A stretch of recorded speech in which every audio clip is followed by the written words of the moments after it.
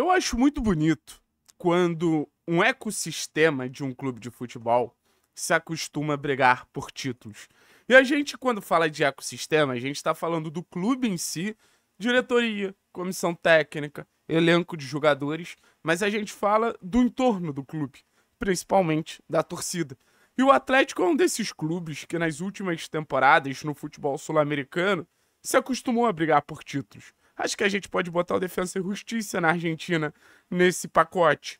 A gente pode botar o próprio Lanús, que chegou em final de Libertadores, ganhou Sul-Americana, chegou em final de Sul-Americana também. A gente pode botar o Independente Del Valle. E a gente pode botar claramente o Atlético nesse balaio, levando em consideração que o Atlético está num país muito mais difícil do que é, Equador ou Argentina, que é o futebol brasileiro, hoje o principal futebol das é, do continente sul-americano, pelo menos, né? Acho que disputa ali com o futebol mexicano, talvez, mas acho que ainda talvez o futebol brasileiro seja superior nesse sentido. Então, você tem o gosto por brigar por título, a vontade por brigar por título, e você tem a possibilidade de brigar por título. E nem sempre é possível brigar por títulos, às vezes por fatores externos, às vezes por erros próprios, e não é porque você acerta e começa a brigar por título que você vai conseguir brigar sempre, mas você precisa entender esses erros para voltar a brigar o mais rápido possível. E às vezes o contexto ele muda muito rapidamente, você tem uma dificuldade para voltar a esse cenário. O futebol brasileiro tem muito essa questão de ciclo, né? Pô, ah, o time tal tá num ciclo positivo, aí depois ele fica anos sem aparecer, por exemplo, São Paulo, tricampeão brasileiro, campeão de Libertadores, aí depois anos, anos sem ganhar nada, volta a, a, a ser campeão agora. Então, assim, o clube ele tem que fugir disso, independente do contexto brigar por títulos, né? E, e, acho que o Atlético ele vem conseguindo isso de alguma maneira, apesar do 2023 muito decepcionante. Eu acho que o 2023 também tem uma questão de fazer o clube mais rápido possível voltar a brigar, né? Nem que seja por uma Copa Sul-Americana, uma competição que o torcedor já está satisfeito, podemos dizer assim, mas acho importante para o clube estar tá ali em cima, estar tá disputando. Acho que, cara, brigar por qualquer título ensina, brigar por qualquer título dá o um gostinho de querer mais para os jogadores. E acho que o Atlético ele entra na temporada 2024 querendo voltar a brigar por títulos, sabe? Acho que isso de alguma maneira está enraizado no clube, nessa mentalidade vencedora, nessa mentalidade de, cara, ganhei, quero ganhar mais, gostei de ganhar. Só que para isso a gente precisa ter um time condizente, né?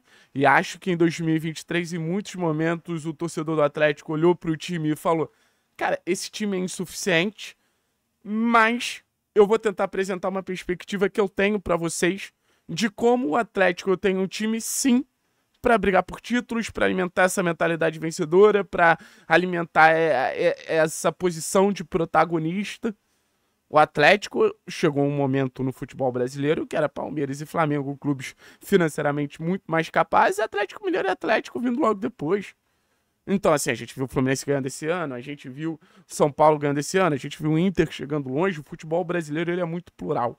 Ele tem times com capacidade de brigar, assim, aos montes. Para Bahia crescendo agora, o Vasco voltando a ter um investimento condizente com o que sempre teve, principalmente ali na década de 90. Então acho que o futebol brasileiro tá mais difícil brigar por títulos. O próprio Fortaleza, sabe? Mas eu vou apresentar esses argumentos para vocês de como eu acredito que o Atlético tem qualidade, tanto em questão de time, quanto em questão de elenco, quanto em questão de contexto. Beleza? Primeiro de tudo, estrutura. O Atlético é um clube que tem um estádio de Copa do Mundo, tem um dos melhores CTs, os melhores CTs da América Latina, tem assim toda a condição possível de oferecer o melhor para que o jogador ele só consiga se concentrar, ele só possa se concentrar em futebol. E eu acho que esse ano, até por ter sido um ano de eleição, um ano de algumas questões internas um pouco mais complexas, o clube ele estava um pouco mais disperso, até por profissionais que estavam no clube e tinham alguns comportamentos que o clube não está acostumado. Filipão, Alexandre Matos. Eu acho que o primeiro ponto a levar em consideração que o Atlético tem condição de voltar a brigar por título é que um Atlético que, ao que tudo indica, vai voltar a ter paz. Contrata profissionais que vão prezar pela paz do clube, algo que o Atlético, na maioria das vezes, teve em anos que brigou por títulos. E não é uma paz absoluta, existem momentos conturbados, mas é também saber lidar com esses momentos conturbados. Então, assim, é o próprio Domi, é um cara sereno, que se dá bem com o grupo. Não é um cara que vai, assim, criar atritos internos, como, por exemplo, já teve o Filipão. A gente imagina que a escolha por esse diretor de futebol também vai ser de um perfil um pouco diferente do Alexandre Matos, voltando a um perfil mais pacificador. A própria chegada do Alex Leitão também é de alguma maneira para você ter um cara que consiga organizar o clube e evite que os problemas falem mais alto. Então, acho que essa questão de contexto, de estrutura, de voos fretados, dos jogadores pensando só em jogar em futebol é algo que o Atlético volta a ter depois de uma temporada conturbada. E acho que isso é um ponto positivo. A gente vai ver conforme a temporada for andando, mas num primeiro momento, isso é um ponto positivo. Agora a gente vai lá. Goleiro de seleção brasileira. Tá? Goleiro de seleção brasileira, um dos melhores goleiros do Brasil, um dos melhores goleiros jovens do futebol brasileiro. Ah, teve uma temporada abaixo? Teve muito por causa da lesão. A tendência é que o Bento, que já voltou a desempenhar na reta final da temporada passada, desempenhe mais uma temporada de alto nível poucos times no futebol brasileiro têm um goleiro do nível do Bento quando ele está no seu Bento Prime, podemos dizer. Então, acho que isso já é um ponto a se levar em consideração. Acho que todo time que briga por título tem um goleiro de destaque. O próprio Fluminense com o Fábio, que fez uma temporada incrível, o Rafael no São Paulo. Então, acho que a gente já começa no gol aquela velha história de todo grande time ter um grande goleiro. Aí, dois argentinos nas laterais, pelo menos num primeiro momento.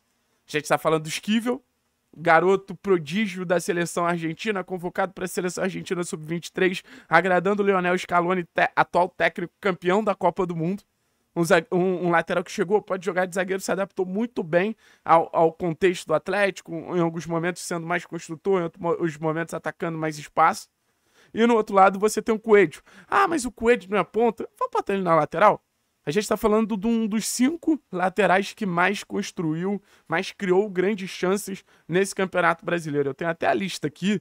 Ele só ficou atrás de Fagner, Mike e, e basicamente com a mesma, é, a mesma quantidade de Pumita e de Plácido. Que o de Plácido, querendo ou não, também brigou pelo título. Então, dois caras que brigaram pelo título, um lateral de Copa do Mundo que é o Fagner, e querendo ou não, o Pumita, que também é um lateral de seleção. O Coelho criou 28 grandes chances no campeonato. E teve uma das melhores médias de duelos ganhos quando o assunto é lateral direito também, mostrando uma sustentação defensiva. Pode não ser o lateral dos sonhos, mas acho que entregou nessa posição, chegando a ser, em algum momento do segundo turno, o jogador que mais tinha criado chances de gol no segundo turno. A gente vai para a zaga. Acho que a gente tem uma disputa em uma vaga, que é entre Thiago Heleno, um ídolo do clube, o Kaká, que querendo ou não chegou, jogou bem, Acho que é um zagueiro de mobilidade, um zagueiro com boa capacidade de posição, marcação agressiva. E a gente tem, querendo ou não, Pedro Henrique voltando aí, que também é um zagueiro que desperta interesse de vários clubes do futebol brasileiro. Já chegou a ser, por exemplo, líder de rebatida em uma edição de Libertadores em 2022. E a gente tem também jogador de seleção paraguaia, um jogador que foi líder de desarme de uma Libertadores. A gente não tá falando de qualquer cara. E não é que ele chegou na final, ele foi eliminado nas quartas. E mesmo assim foi líder de desarme da Libertadores, que foi o Matheus Gamarra. Então a gente tá falando, na nossa defesa, supostamente titular. Três jogadores de seleção. Bento, seleção brasileira. Gamarra, seleção paraguaia. Esquivel, seleção argentina, sub-23. Um, um, um cara que fez um segundo turno muito acima da média, que foi o Coelho. E uma disputa entre jogadores que eu acredito que tenham um bom nível ali. Aí a gente vai pro meio campo. Nada mais, nada menos que o Fernandinho. Um cara, porra, não precisa fazer apresentações ao Fernandinho em condições físicas, para mim, o melhor volante do futebol brasileiro. O cara que faz, tem uma transição ofensiva muito boa, um controle de jogo, dá ritmo à partida. O cara cerebral pra caramba. Sabe, assim, ser esse maestro, mesmo construindo um pouquinho mais atrás. E ao lado dele, beleza. O Eric acho que vem de uma boa temporada, principalmente questões ofensivas. Eu traria um camisa 5 de mais sustentação. Mas querendo ou não, a gente tá vendo como, por exemplo, clubes como Corinthians e Inter estão fazendo questão de ter o Eric. Mas acho que o, o, o que chama mais atenção ali realmente é o Fernandinho na volância. Então a gente tá falando de, ó, Bento, Coelho, Esquivel, Gamarra e vamos botar o Kaká, Eric e Fernandinho? Ou vamos botar o Thiago Heleno, Eric e Fernandinho? Cara, é um time consistente pra caramba. Agora a gente vai pro quarteto ofensivo. Christian, jogador que ia ser convocado para a seleção brasileira sub-23 para toda essa preparação para a Olimpíada eu já tinha recebido é, a indicação, a carta ali, né, que, que recebe antes da convocação. Ah, você vai ser convocado. Um jogador que tem um dos melhores índices de finalização do Campeonato Brasileiro. jogador que super conecta bem a equipe, versátil, que também interessa grandes clubes do futebol brasileiro. O senhor Abel Ferreira ligou falando do Christian, senhor Fernando Diniz ligou falando do Christian. Um jogador que basicamente participa de todas as fases do jogo, defende bem, constrói bem, conecta bem a equipe, finaliza bem. Versátil, pode ser segundo volante, pode ser esse terceiro homem, pode jogar aberto, pode ser ala pelo lado esquerdo.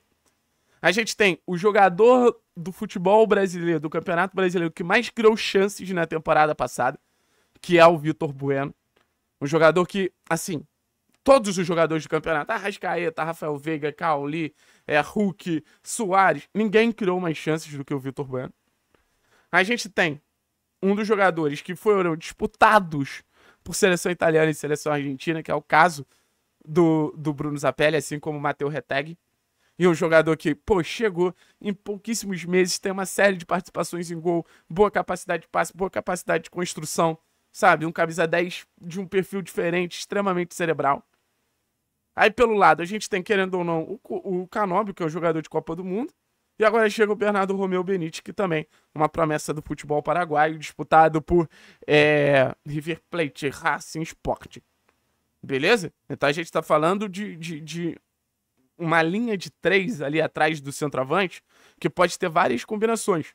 Pode ter dois jogadores mais agressivos, Canóbio e Bernardo Romeu é, pelos lados, é, Bueno, Zapelli e Christian por dentro. Pode fazer uma trinca com Eric, Fernandinho, Christian. Aí você abre Bueno, Zapelli por um lado para ter um ponta mais construtor e pode ter um ponta mais agressivo, Bernardo ou o Canóbio de um lado. Pode ter Christian de um lado, um ponta mais agressivo do outro, um, um meia mais cerebral. Então você pode brincar muito com as possibilidades, mas todos jogadores de muita qualidade. E na frente, você tende a ter o Mastriani, artilheiro da Sul-Americana, uma competição que a gente vai disputar e que a gente vai entrar para brigar. E o Pablo, que eu duvido que tenha um atacante reserva no futebol brasileiro com 35 participações em gol nas últimas duas temporadas. 20 participações em gol em 2022. Em 2023. 20 participações em gol, rapaziada. 20 participações em gol. Ah, mas no Campeonato Paranaense que ele fez a maioria. Mais ou menos. Foram nove no Campeonato Brasileiro. Que atacante reserva tem nove participações em gol no Campeonato Brasileiro? E você pode ter uma estreante, um dos destaques da competição, o cara que mais fez gols no segundo semestre do futebol brasileiro. Artilheiro da Copa Sul-Americana, um dos grandes destaques da centroavância no Campeonato Brasileiro. Óbvio que eu tô olhando com uma perspectiva positiva, mas acho que o intuito do vídeo é esse. Cara, o Atlético, ele tem time para chegar longe numa Copa do Brasil. O Atlético tem time para brigar por título de Sul-Americana. O Atlético tem time para fazer um bom campeonato brasileiro. Então, assim, não é do nível de um Palmeiras, não é do nível de um Flamengo, não é do nível de um Atlético Mineiro, pode não ser. Mas eu acho que com, em campo contra esses times é 11 contra 11 e a gente tem toda a condição de superar esses caras se, a, se o trabalho do treinador for bom, se o clube não tiver nenhum tipo de crise, talento, capacidade técnica, tem. O Atlético ainda precisa de reforços? Ainda precisa. Principalmente ali na volância. Eu acho que o camisa 5 hoje é a nossa maior urgência. Mas assim, e óbvio, a centroavância acreditando que a gente fecha com mais treino. A gente tem time, velho. A gente tem time. É importante deixar isso claro. Importante deixar isso claro. Isso porque eu não falei de Fernando. Isso porque eu não falei de outros jogadores que eu acho que podem ser úteis. Tá ligado? Então, assim. Eu começo a olhar para a temporada que vem, principalmente pelos jogadores que estão chegando para o time titular, mais confiante. E eu acho que estão acontecendo algumas movimentações internas interessantes. A escolha do treinador, eu tenho algum pé atrás, mas eu acho que principalmente pela capacidade de lidar com o grupo é importante. Eu acho que a escolha do Alex Leitão é uma boa escolha. Acho que a saída do Alexandre Matos pode fazer muito sentido. Então acho que o Atlético ele tá caminhando para um caminho muito legal. A gente só vai saber conforme a temporada for rolando se vai brigar por título ou não. Isso não tem como prever. Ninguém aqui tem uma bola de cristal. Mas tem argumentos, tem jogador, tem talento, tem tem gente competitiva dentro do clube. O que o Atlético pode montar de equipe, ele tá montando. Se reforçar mais, pode ter um time melhor? Pode. Mas o que a gente tem até agora eu acho que, que, que tem bastante coisa boa. Bastante coisa boa. Valeu, pessoal. Tamo junto, é nóis.